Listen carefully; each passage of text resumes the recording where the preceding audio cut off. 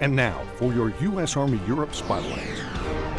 Representatives from 24 African nations concluded their week long stay in U.S. Army Europe at the NCO Academy in Grafenwoehr, Germany. This is uh, a way of imparting some knowledge to us so that we can lead our subordinates in the right way. They met with cadre, international students, and discussed best practices in growing an NCO Corps.